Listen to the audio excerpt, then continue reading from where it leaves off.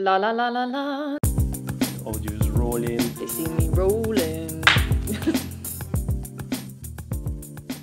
Hello and welcome to Nikon Report, your weekly broadcast of all the latest Nikon news and all other photographic announcements that we found interesting. It's Konstantin here, and here is Becky. whoop whoop. We are recording this remotely. There's no one behind the camera. Fancy. Technology. Welcome to the world of tomorrow.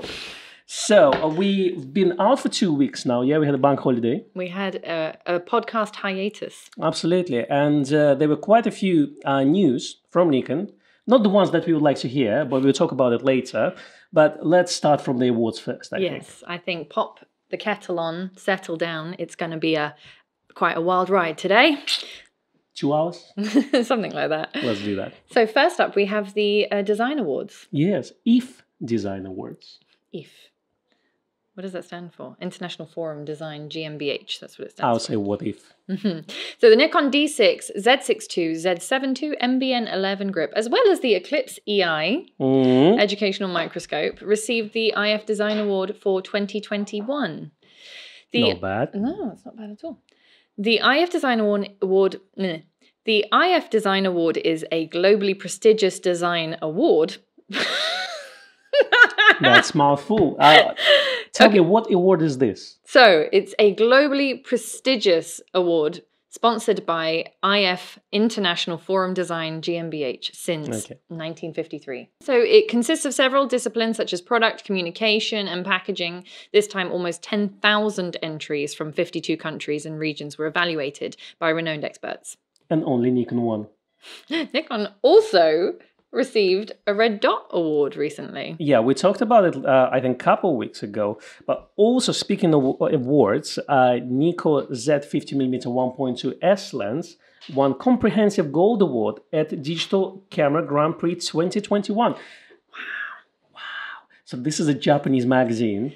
Yes, do you remember that the you won't remember this, but do you remember that the Gold FA came out as a response to that award, not digital camera, but it was the the camera Grand Prix Is back in so? the 1980s. Wow. Yeah. So they didn't make a gold 51.2 to celebrate this. However, the 51.2 is a beautiful lens. We've done a review on it.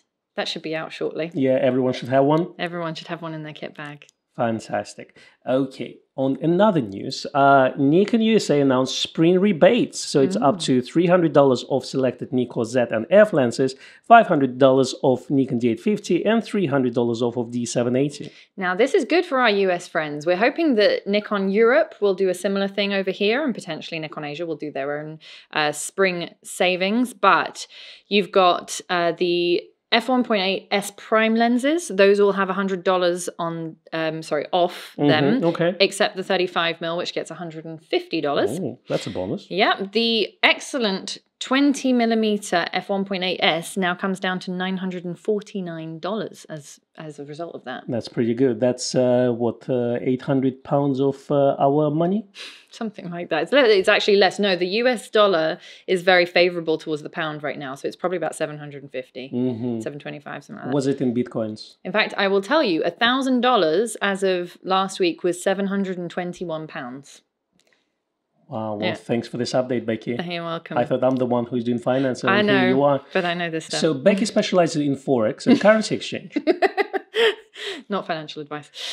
Um, But the yes. good thing about this is obviously that our uh, US viewers uh, will have some money to spend and some discounts to have. That's right. But it also highlights an issues where you can have different branches along, around the world and they don't talk to each other because we in UK and Europe had some discounts in April yes, and now we don't have any and now USA customers have some. that's right. But we haven't had any Z discounts this year yet. So hopefully, before the summer, we will see some Z related discounts because we did have an F mount promotion, Mhm, didn't we, back in um, March, April time.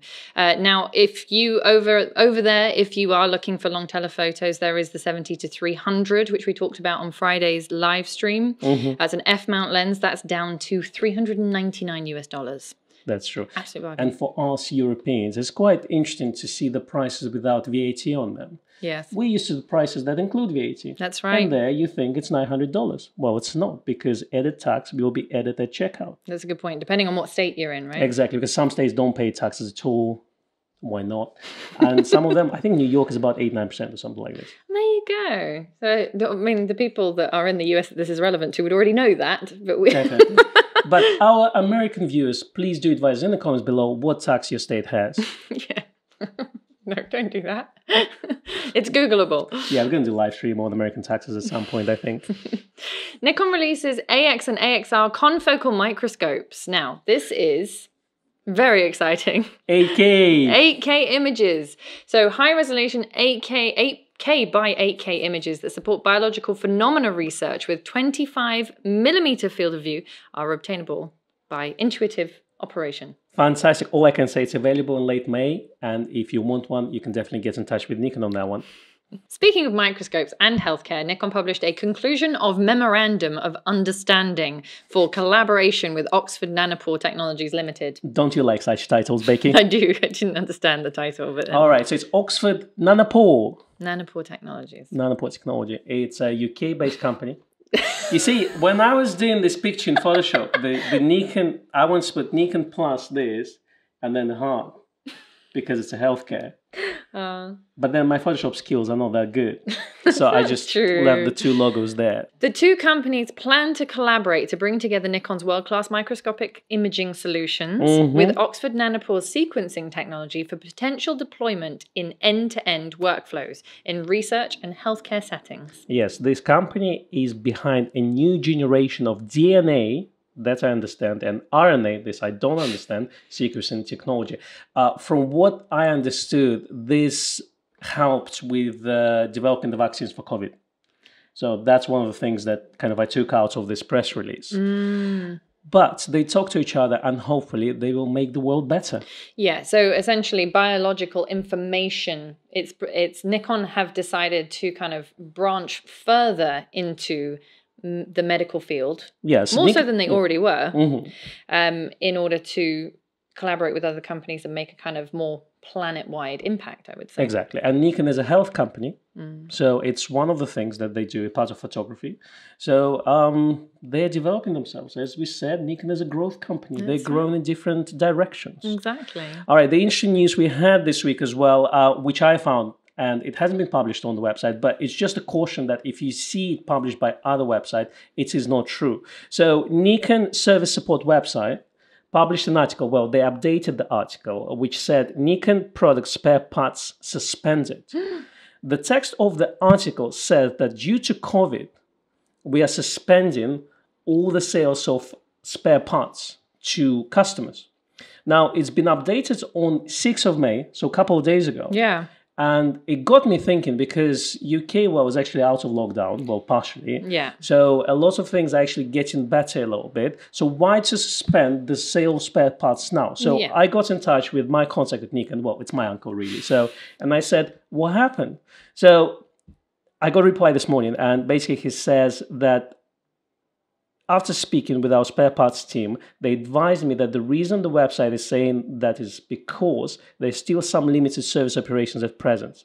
However, the spare parts team are still available to take orders. So Nikon official website saying that they're suspending the sales of spare parts, mm-hmm. but my contact at Nikon says it's all fine and dandy. Essentially, if you have a contact at Nikon, then you can still order spare parts. No, that's not true. I managed to order some spare parts just last week, so I don't think, as far as I know, there was a cautionary notice at the bottom of their the reply mm-hmm. email to say that some parts would take longer to source than others, mm-hmm. but it seemed to be just a generic kind of almost blanket statement. So I actually think that they're still operating as normal. So probably some bug. Yeah, there's in the supply chain, Mhm. which we've already experienced, so we know that. Z30 rumors continue. Nikon rumors published another confirmation of the rumored Nikon Z APS-C mirrorless camera, codename N2016. No way. this time from registration filings in Taiwan, which was reported by Nokishita. Yes, so it's a Japanese website. So on the Twitter, they published this image of product registration code name N2016. Like it. So let's have a look at the specs. It says, first line, notebook, Lenovo. Do you think it's to do something with Nikon? I don't understand that. It says digital camera Nikon N2016. Then you've got notebook Lenovo T430 1.8 meter adapter. Yeah, it doesn't say MacBook. I can tell you that. No, and then you've got the microphone, which is an ME1. Which So we assume that it's going to have 3.5 jack or whatever that jack is for Yeah, the microphone. is Okay. 3.5. Yep. Uh, then we've got the 16 to 50 lens in there, which already exists. So we assume that's going to be a kit Mm-hmm. bundled with the camera. And it looks like it's got a hot shoe because it's got Speedlight Nikon SB5000. Okay. The question I have on this one specifically will it trigger SB5000 remotely? You think that's why they put that one in there? Uh, could be, but at the same time, if it's Z30 and it's going to be the cheapest Nikon camera, Mm-hmm. then I don't think it will happen. No. Well, we'll see. I don't know if it will have because the Z50 doesn't have that capability. So I doubt it. I think it's more just that the hot shoe is obviously there. There will be a hot shoe on it. Um, then we've got LED monitor, which looks like it's supplied by Dell. It has a serial number that I don't understand. How much is it, 27 or 32 inches? What do you think? Eh, it doesn't say inches. Sorry, it's like it's like Well- 22 centimeters. Well, Dell is monitor manufacturer. That's why I'm asking you. I know. Um, so then we have a potential asterisked E ENEL 25 with an MH32 battery Okay, charger. so that is the charger and the battery that is, that is used by Z50 camera, effectively. Correct. So that helps us to understand that potentially the kind of the shape and the size of the camera is going to be similar. Mm. And then we also have a USB cable UCE 24, which is 60 centimeters long, which Mm-hmm. the spec is in there, and an HDMI cable, which means that the camera should also have an HDMI port. That's pretty good for entry level camera, isn't it? Absolutely. Uh, the DA, DIY photography website published a mock up of Z30, um, which we will share with you. There you go. It basically looks like a Z50 with the viewfinder shaved off. I'm not keen with of that about that, to be honest. I mean, with some of the things that we're getting about this camera is because it needs to be entry level and potentially be under 400 pounds or 500 dollars. Uh, it's highly likely that it won't have a built-in LCD screen, so it's just going to be an LCD at the back. You mean it won't have an EVF? Exactly. Because you said LCD, but you meant EVF. I meant EVF. yes. Okay. You good. see, you can read my mind. I can. What I'm hoping is that maybe they'll do a little bit like the P7000 design, where they have a small EVF just off to the side, because it mm-hmm. doesn't need to be on top so rangefinder style. rangefinder style original coolpix pro series they're kind of bridge cameras um, style where the evf is off to the side it's slightly smaller and lower resolution but is there for when you're shooting in bright sunlight which was really the benefit of those p7000 cameras I agree. That would be nice. It would be nice to have an option of uh, viewfinder for EVF for Yeah. some people, and then for everyone else, they can use old-fashioned Yeah. LCD.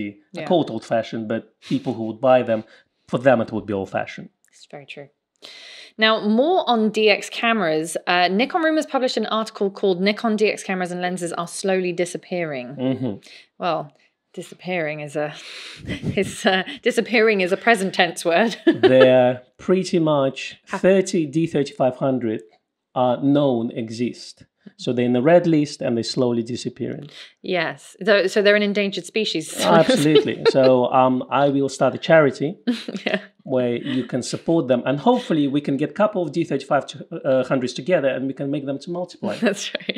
Uh, we also need some D5600s for that, just to save the species a little bit.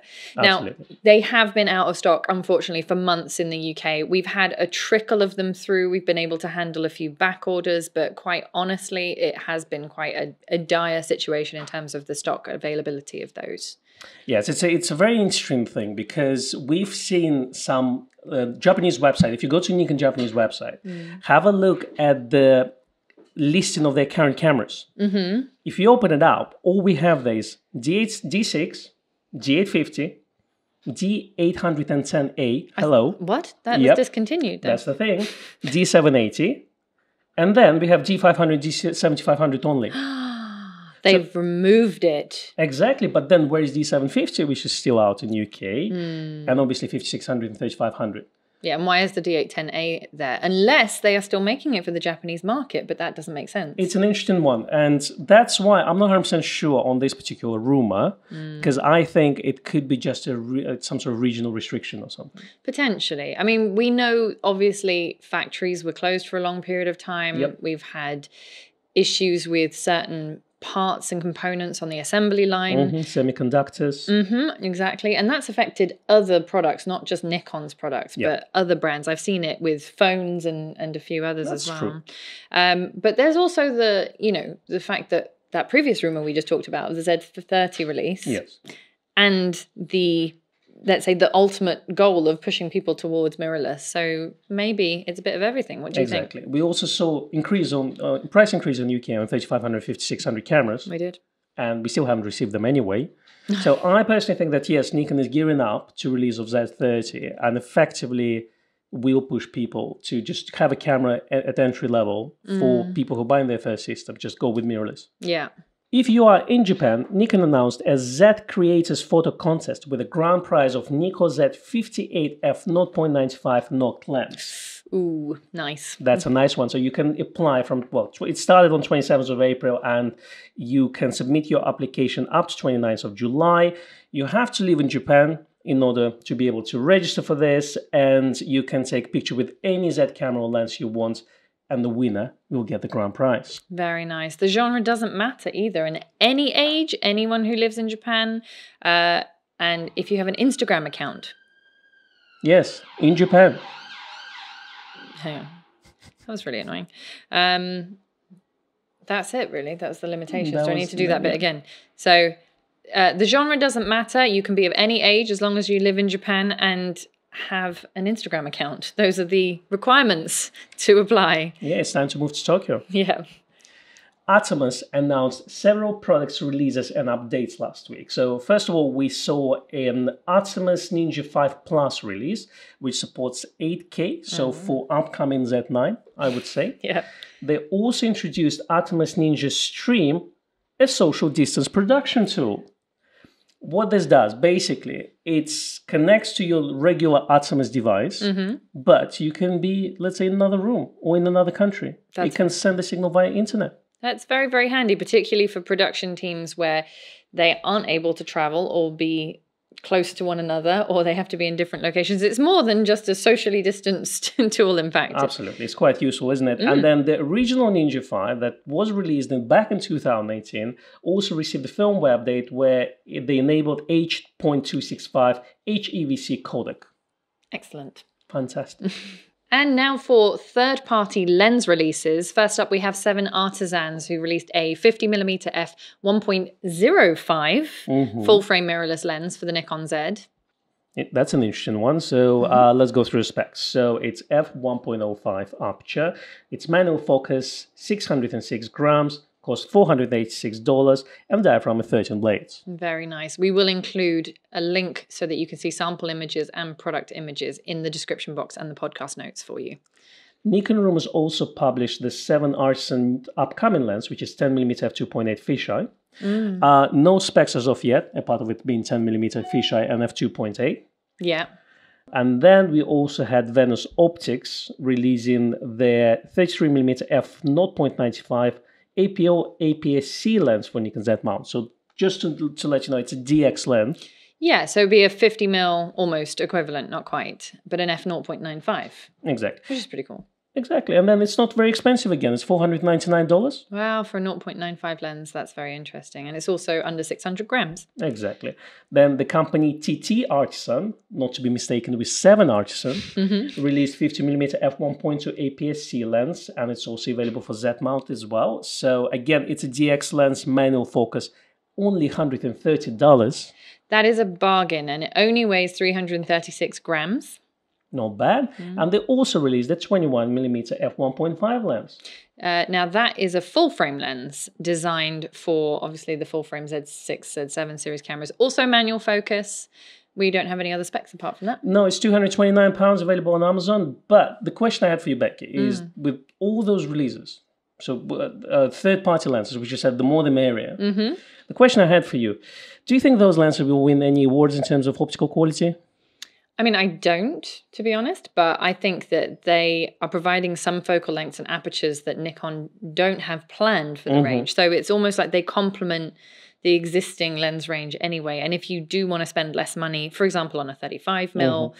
for example, with a Z50, the only 35 mil available is the full frame 1.8. That's true. So having an APS-C designed one to get you to your 50 mil focal length at you know under $200 it's very nice indeed. Absolutely, and small and light as well, isn't exactly. it? Exactly. It's manual focus, but with focus peaking and so many other things, it doesn't really matter. Absolutely. The only thing I do find interesting them that they are manual focus only, Mm. but there is one lens that is autofocus, and it's a Viltrox 85mm f1.8, Oh yeah. and that's the one that Rishi compared with 85 1.8 S lens. So now this lens received a firmware update. Mm-hmm. You can update the lenses nowadays, uh, and it should improve overall compatibility with Z cameras. Excellent. Right, now we have easyCover released a rubber camera case for the Nikon Z5, Z6 Mark II, and Z7 Mark II. It is very yellow, Exciting. Nikon yellow. Uh, what is what? What do you use one of those for? That's a good question. If that's your thing, it's available in the link below. The idea is that it stops dust and dirt from getting into the small nooks and crannies of your camera body. Obviously, there are openings for all of the different screens, ports, buttons, etc. But um, but it provides an extra level of cover and makes sure that uh, you can see your camera in the dark. Better be safe than sorry. In UK retailer news, we did report on Jessops going into administration a few weeks ago, but we decided to report some positive news as yeah, well. let's share some good news, isn't it? mm-hmm. London Camera Exchange is now employee owned. Yeah, that means that the specialist photographic retail chain, chain will now be owned by the 140 strong workforce via ownership trust. Further good news is that the company has seen a 32% increase in revenue over the last 10 years. So that's good. That's not bad, isn't it? Mm-hmm. And then also, Warehouse Express will open its 10th store in Leeds. Congratulations. Many congratulations. All right. Speaking of UK, the Real Photography Show is back. So, Is that what they're going to call it now? The real the Real Photography Show. So, they had Virtual Photography Show mm-hmm. in March. Yeah. So, almost two months ago now. And they said that the virtual events will return. Um, I guess they didn't say how often, but they said it was very successful. Over 12,000 visitors watched the broadcasts. But they are planning to have a physical show back in NEC Center in Birmingham um, on 18th um, of September. Very nice. I was supposed to go to that one last year. Well, hopefully you'll make it this time. Yeah, exactly. Uh, Nikon is expected to be exhibiting there. Excellent. We look forward to it. And now to the main news, Becky. CIPA March numbers. CIPA. CIPA. You got to do your if you need your CIPA numbers. CIPA is your friend. okay. It's all good news. Good. This this penguin trajectory. Okay, so we're back to the penguins. Back to the penguins. Looks like a humpbacked whale. I just want to kind of you. I want you to imagine. Imagine March last year. I can. I do, I'd rather Yeah. not, but sure. Okay. so it's all doom and gloom. yes. Yes. And year later, It's, it's completely different. it's better. It's all in green. Ah, I don't understand what the penguins mean, so I'm just going to wait for you to clarify. Well, I assume it's a penguin jumping off the cliff. I see. So Isn't that and what lemmings do? what? you see, I was trying to find a photograph of penguin midair, Right. but the search continues. I haven't found the right one. So hopefully for the April figures, I'll have a perfect photograph for this.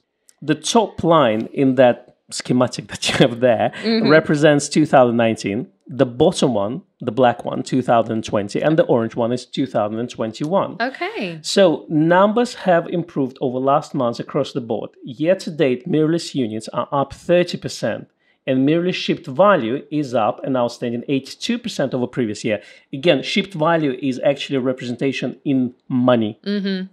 Yeah. Um, even DSLR units are up, to, uh, you know, up this year, which is strange because technically we do see reduction in sale of DSLRs and increase of uh, mirrorless shares. But let's start from the beginning. So DSLR shipments were 615k year to date, so it's plus six percent. DSLR shipped value is down seven percent, so it's two, 23.8 billion yen. Mm-hmm. Okay. Mirrorless has increased. So they shipped 771k, so it's 30% up a year to date. And mirrorless shipped value 74.9 billion or 82% year to date. 82%. Yeah, that's a big jump. It's a colossal increase. Again, the trend we see is reduction in DX lenses, basically, or mm. lenses that are uh, designed for sensors smaller than full frame. We saw uh, 24% uh, year to date reduction, or 1.3 million units. And then uh, shipped value also decreased by 5%. Now, full frame lenses and full frame plus lenses has increased by 18%, or 989K, and 49.6 billion in share, or 25% up. Excellent. Really good. Now, mirrorless unit share to DSLR has increased to 55.6%.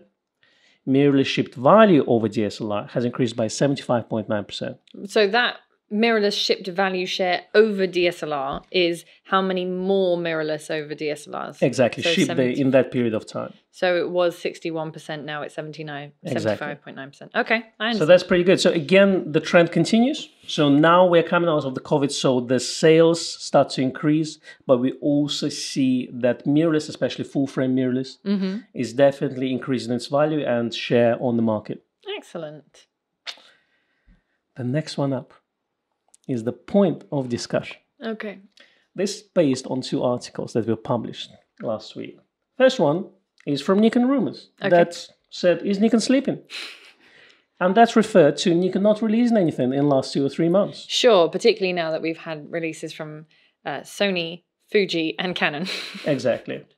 The article didn't say really anything new, no. but I have a feeling that it's an article based on us Nikon users wanting Nikon to do something and re- announce new products. hmm Now, Thom Hogan, and we continue our Thom Hogan watch um, this year for President 2021.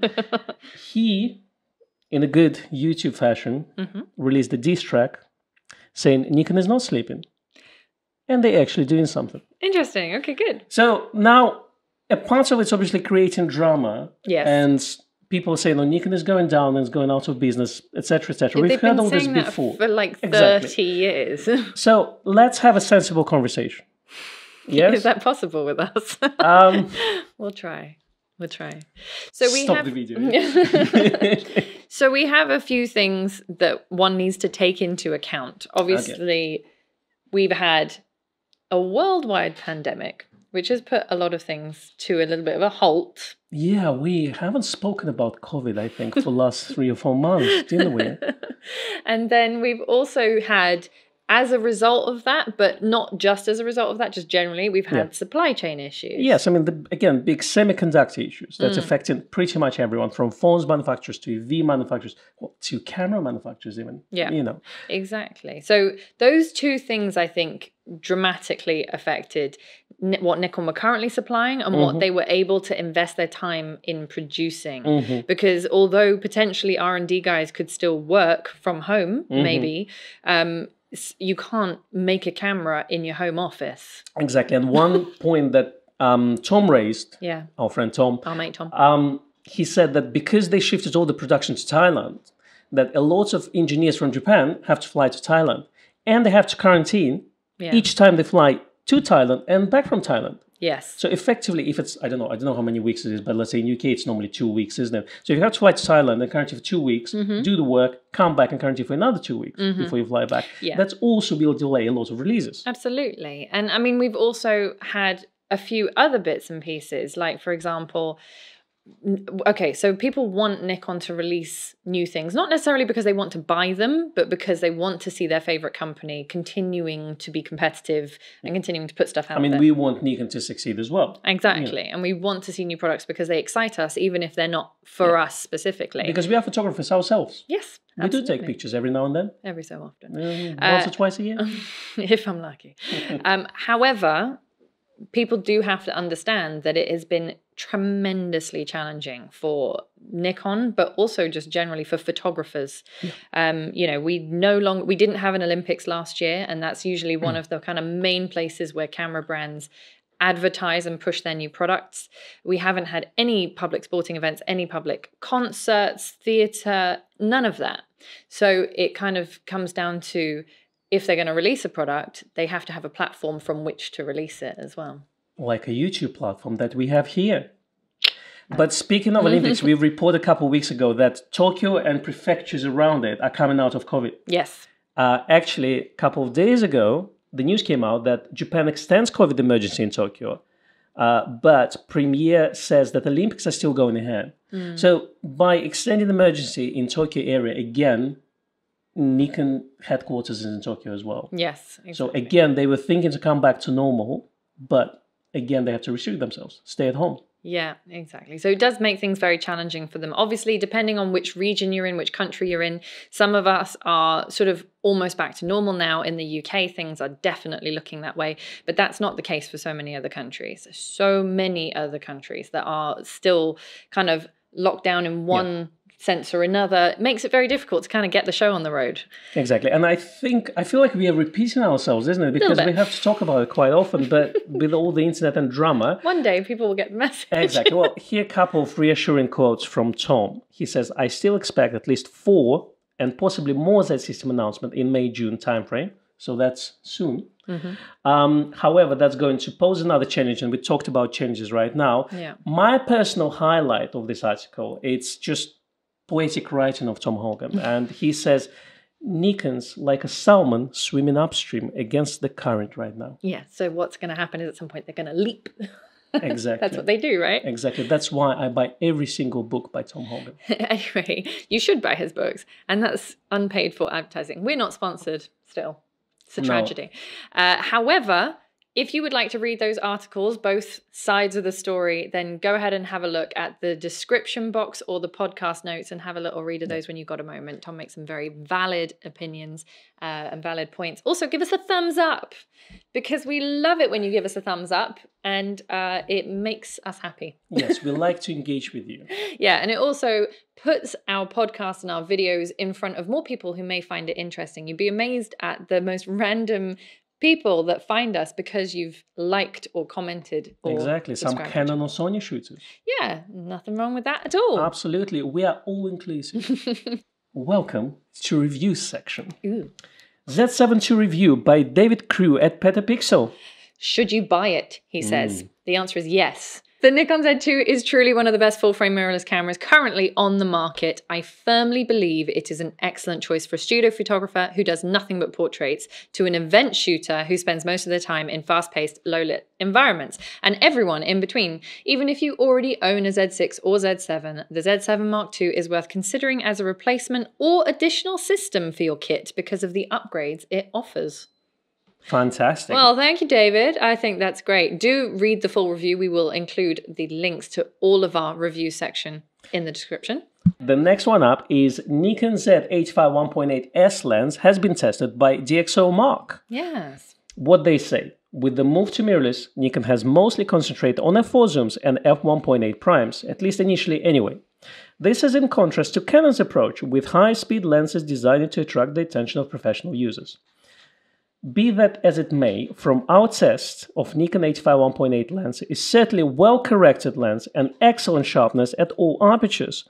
Although the price might look a little prestigious at for 1.8 lens, it ranks alongside the best from Zeiss, Canon, and Sony, and at one of the finest fixed focal length primes available at any price. They give it a score of 49. Now, it's not out of 100 or anything like this. They don't have really kind of the top ceiling. But if you look at their price chart for all 85 lenses, this lens is number two. Mm. Now, that among all cameras, mounts, etc., etc. So the first one is Sigma 85 L1.4 Art lens, And that's a and it's an F mount lens. F mount lens. Yeah, so they're comparing basically all 85s across all platforms. Exactly. So the, the second one is 1.8S, which is really good place to be at. Mm-hmm. And then on the third place is Carl Zeiss. Now, a lot of people think that Carl Zeiss is where it's at, and it's on the third place. Interesting. Here we go, and it's manual focus, Yes, there is that as well. and it's probably five thousand pounds. At least. yeah, among all lenses designed for Nikon mount, and we include in Z, Nikon Sigma. One, and F, and everything. Yeah. Uh, again, um, 1.8S lens is on second place, um, and the first one is Sigma Art. I am puzzled. I I want to have a look at this art lens. I heard it's extremely heavy. Yes. but I guess the image quality is there. It is colossal. I'd be interested to see if you review it against your 1.4G, which has a top score of 44. So it's not that far off for Yeah. the, the 1.8S. But I love my 8514G and I wouldn't trade it for Sigma. There you go. All right. Konstantin has spoken. All right, next up we have how good is the 14 to 24 f2.8 SZ lens for astrophotography? Nikon Z7 Astro modded. If you'd like to know more, have a look at the YouTube video in the link description below. Yeah, that's by Stephen Morris. That's right. Right, for your read, watch, and listen segment this afternoon, we've added listen as well. Yes, so there won't be any listen this Oh, week, but well, it doesn't matter. Exactly. Lots of technical articles this week. Yeah. Uh, one is called Caring for Nikon Z lenses, the basic by Nikon DigiTutor. Now, we were thinking to do a live stream on looking after your equipment. So if you do want us to do that, do definitely uh, leave your uh, comment below and we'll take it. We will put something together. Um, they also published a Nikon webcam utility setup video, also by DigiTutor. This is on YouTube, so you can go ahead and have a look at that. Yeah. Or have a look at my video as well. You can do that. But did you do the webcam utility setup? Yes, you did, of course. Sorry. Yes, I did. Shut up, Becky. Uh, one thing I actually forgot, which I we we recorded but I didn't go into the video eventually, that you have to set your camera to not to go to sleep. Of course. So so that's where this video is slightly better. But you know, if I won't criticize myself, no one will. I've, I've had to troubleshoot a few people with that actually. So Because I don't read comment, you see, so I just don't read them. It's best. it's like- It's definitely best up. Next up, we have why are modern 50mm lenses so damned complicated? I wouldn't have been allowed to say that about 100 years ago. Do you know that? It would have been really not okay for me to say that. but you didn't live 100 years ago. No. And you see, I'm Russian, I don't know better. so by R. Cicala? yes, this chap actually works for uh, lensrentals.com, and it's an American website where you can rent the lenses out. And they publish lots of technical articles. So one of them was Remember the Fly Inside the Lens? Yes. So he did write the article for DP Review. It's very interesting. Like he just says, look, yes, we used to 50 millimeter being 100 pounds or so. Yes, they're more expensive now, but there are a lot more going on there. Yeah. We also have the Z System myth busting article by Thom Hogan, which is well worth a watch. Uh, sorry, a read, because he doesn't do watching. Do that No, again. but he should, I think. He should. We should. Or he can send us articles and we will record the videos for them. yeah, exactly. Uh, but if you had someone says, ooh, Nikon Z is eh, then read his article and, and you'll have an answer for this. I can just imagine. Lens Culture Portrait Award winners. Some beautiful photographs in there. Do have a look. Yes. We also have an article by The Guardian. The Guardian, the British Guardian. hmm So this is called In the Green Room, the 2021 Nikon Surf Photography Awards. So I didn't even know that Nikon had a surf No, photography me award. neither. You see, I'm more of a surf and turf person myself, but uh, So You know. this year's Nikon's Surf Photo of the Year award goes to Stu Gibson for his shot Free Fall, featuring surfer Tyler Hollmer-Cross. Sorry, Tyler Hollmer-Cross, taking on shipsterns in southeast Tasmania. The winner has been selected by a panel of 13 high-profile judges from within the surfing world, including the seven-time World Surfing Champion Stephanie Gilmore. fantastic. There's some good waves in there and good vibes. Some good vibes. Good vibes. Good vibes only. Thank you for watching and or listening. You can find links to all the articles that we've talked about in the description box or in the podcast notes. Please also give us a like and subscribe or a follow and a review if you're listening on a podcast platform. Do what you will. Yeah. Live free. Live Someone says, and if you dislike us, just press the dislike button twice. Click click. so, Becky, where can we find you on the internet? You can find me at Rebecca underscore Danese on Instagram or at RebeccaDanese.com. And you? KonstantinKochkin.co.uk and still on MySpace at Konstantin Kochkin. Excellent. Thank you very much for joining us, and we'll see you again for another podcast. All the best. Bye.